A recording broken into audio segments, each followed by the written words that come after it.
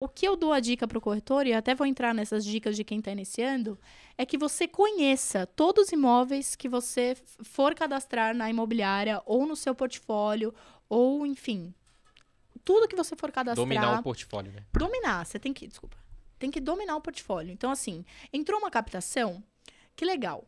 Marca para visitar. Antes de você postar no Instagram, marca para visitar. Sim. Por quê? Primeiro, se você é um corretor que só pega foto do que o proprietário te envia, você não tem autoridade nenhuma no dia que você for Sim. mandar um cliente para visitar a casa. Você erra até a chave de abrir, né? É, você. Gente, eu já vi, eu já vi, tá? Sim. Corretores entrando no banheiro falando que era um escritório. e o cliente ficou assim. Eu tava na casa fazendo fotos e esse, cliente, e esse corretor chegou com o cliente. É aquele corretor Google na minha casa, né? Esse aqui é a sala, é, essa aqui é a cozinha. Ó, aqui é a sala. tem 50 metros quadrados. Mas ali, ó, é a cozinha. A pessoa entra na cozinha, é um quarto. Aí você fala assim, não tem autoridade nenhuma, Verdade. se queimou. Verdade. O, o, o cliente não vai sentir segurança em comprar um imóvel com você, porque Sim. você não sabe o que você está vendendo.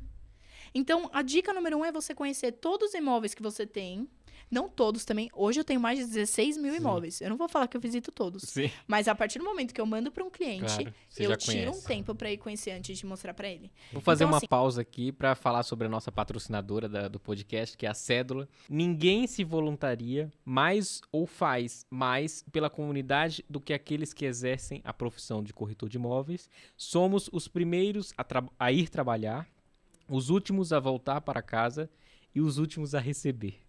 Cédula vem justamente resolver esse problema de ser o último a receber. Então, basicamente, o que, que é?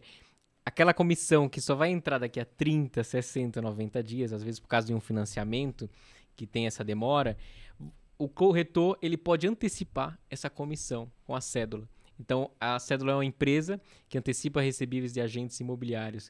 O que, que, você acha disso? Você acha interessante o corretor poder receber primeiro e poder reinvestir no negócio para vender mais?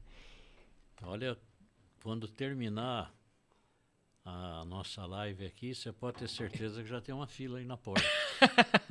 Legal. Bom, então você que fez, acabou de fazer uma venda, uma locação, uma transação imobiliária e ainda vai, vai demorar mais de 30 dias para receber essa comissão, você pode entrar na plataforma cédula com dois L's.com.br e você pode antecipar a sua comissão.